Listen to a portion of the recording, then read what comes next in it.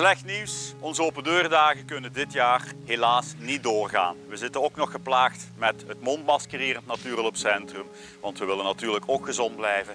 En dat willen we ook dat jullie blijven. En daarom dat we hier niet dit jaar bereid zijn om mensenmassa's te ontvangen.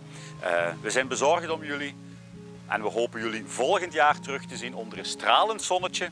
En dan zullen de vlaggen weer uithangen, zal de frituur er staan, zal ons terras er staan. En ik ben er zeker van dat er ook heel veel dieren weer zullen zitten, want die zitten er nu ook. En daarom ook dat ik toch hoop dat we op jullie steun mogen rekenen. Dat jullie toch nog langskomen voor een kalender te kopen of uh, om eten te kopen voor de vogels.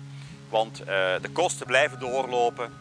Maar bij leven en welzijn, hou jullie gezond en dan zien we ons terug op de Open Deurdag van 2021 en dan zal er extra veel te zien zijn. Dat is alvast beloofd.